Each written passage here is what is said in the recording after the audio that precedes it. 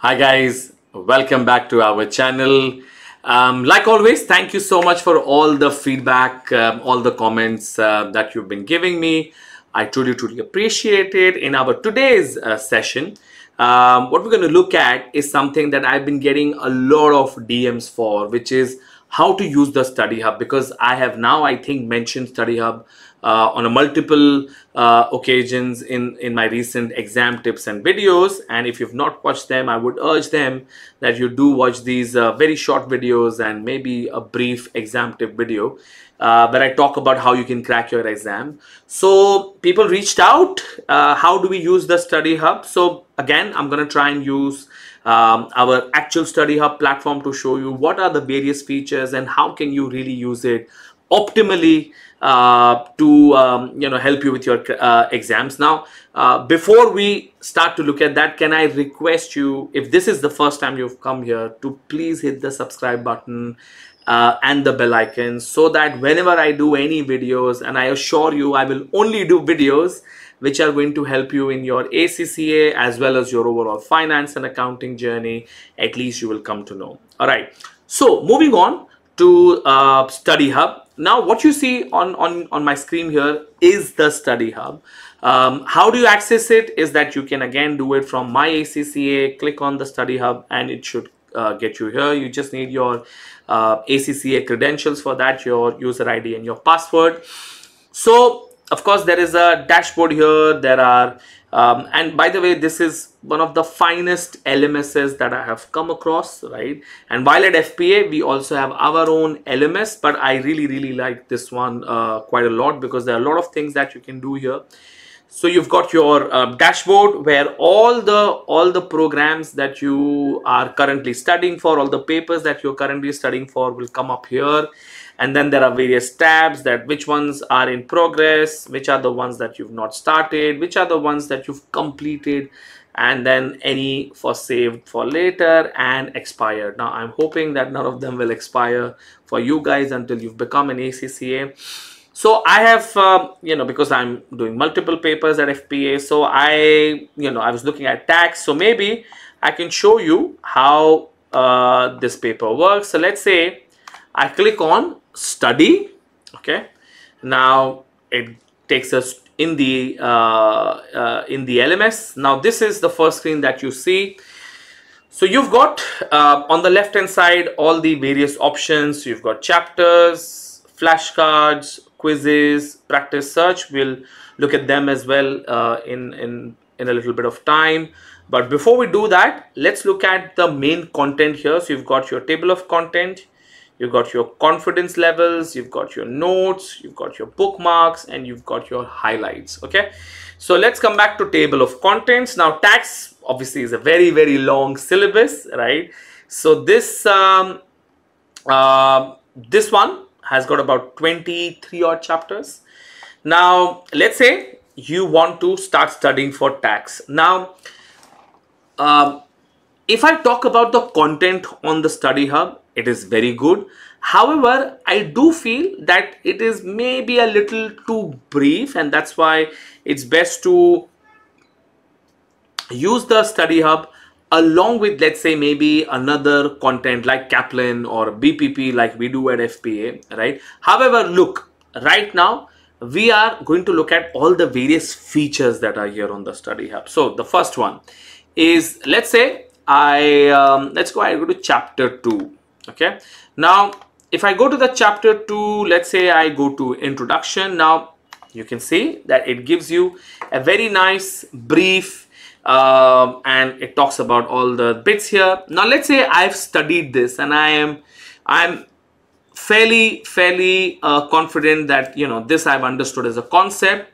So what you can do is that you can rate yourself here right?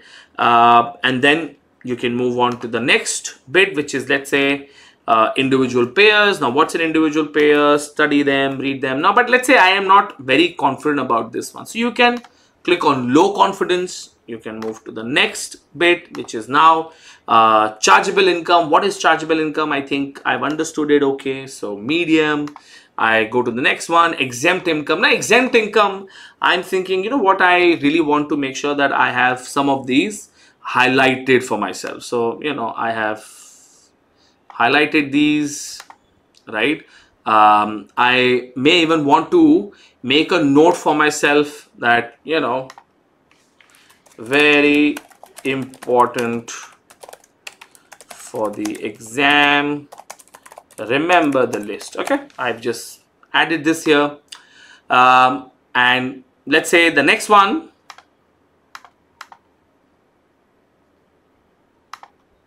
Um, hi okay?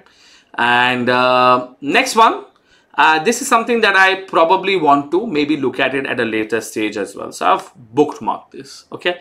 And then again confidence continue right? Now what we're doing here is that we are as we are going through the content we are marking our understanding whether we've understood whether we have anything that we want to study again any quick notes you know like how you do it in a textbook exactly all of that happening here. And how can you see that? If i go to the confidence level right you can see within the four bits i have uh, within the uh, for the four bits that i've marked for myself uh, all of these are high confidence but there are two areas which i am not very comfortable about.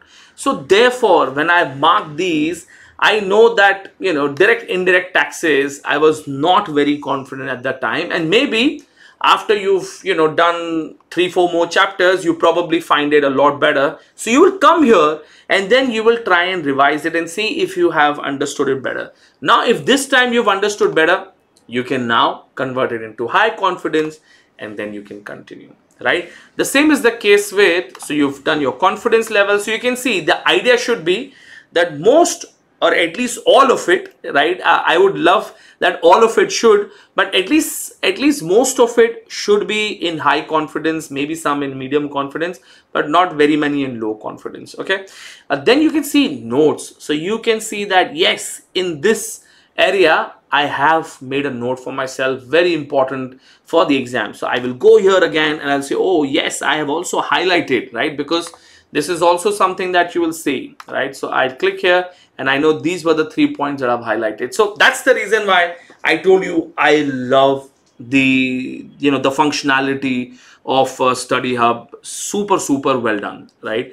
So it really is very intuitive. It helps you keep a track of what you're doing and what you're not doing. So you're done with these, right? So this is all the bits that you have to go through. You've studied everything, right?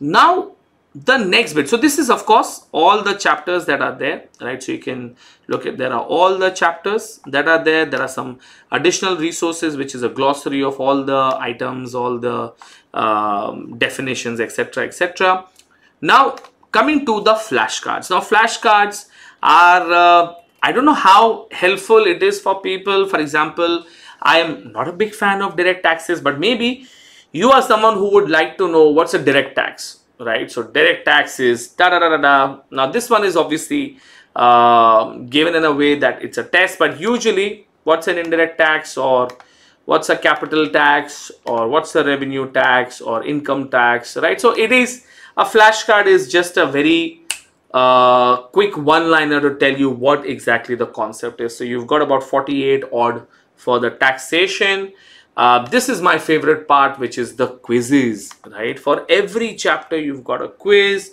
and uh, there are five questions, right? So again, you can actually look at the quiz here. You can see it is being timed. So you know exactly how much uh, time you're spending, right? And you can just do confirm. Let's say I'm just going to confirm everything. All right. Done right? So you can see, uh, by the way, law of probability, right? Uh, there is one for every five right, uh, every uh, one for every uh, four wrong. Anyway, so you can see here, right, that uh, it has told us that this is the question and this is where you are wrong. You can go in, you can see why you are wrong. So all taxpayers must file a return, da da da da da. So it will tell you exactly where you are going wrong right? So it gives you a feedback that not it's just not that a is the correct answer but why a is the correct answer. And guys that is the most important thing. You really need to understand why you are going wrong. Because if you don't understand that you will uh, keep repeating the same mistakes right? So therefore make sure you've understood where you're going wrong right? So that was your quiz uh, and you've got uh, quizzes after every chapter really good quizzes. Please make sure that you've done all of them. There is also something called as practice. Now practice will have your long questions short questions. You can see right you've got your uh, long questions uh, like constructed response questions as well. So you can do the whole question here itself right? So you can see you've got your uh, long question given to you right? And then you can plan your answer you can confirm your answer. So point being is that uh, you've got a lot of things that you can do uh, here right? So you're done with your practicing here. Most importantly i am not not so much of a fan of the long question but yes the quizzes definitely. And in the practice section as well you still have these questions which are again uh, you know quizzes or you know mcqs type. So i will suggest that do all of them right?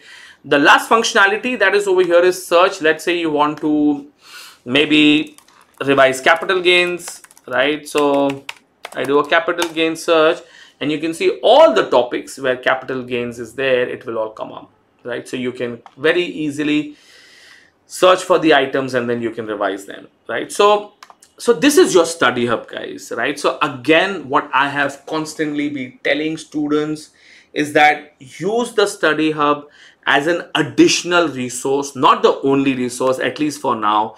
Uh, i feel that uh, there could be more bits that uh, you know still needs adding here or maybe uh, it's not it's not enough yet right? So therefore use your kaplan or a bpp and then complement it with study hub here the primary thing that you have to do is look at the quizzes look at the practice area uh, and then you if you want to spend some time on chapters revising content uh, some of the areas which you're not comfortable with maybe look at those in the chapters and maybe in the practice area as well. All right. So look i hope you found this uh, video useful. If you have can i urge you to please share it with your friends? Because i know a lot of people are still struggling to find out how to use a study hub uh, but uh, please make sure that you are using it. On that note, all the very best for your exams and thank you so much. Bye-bye.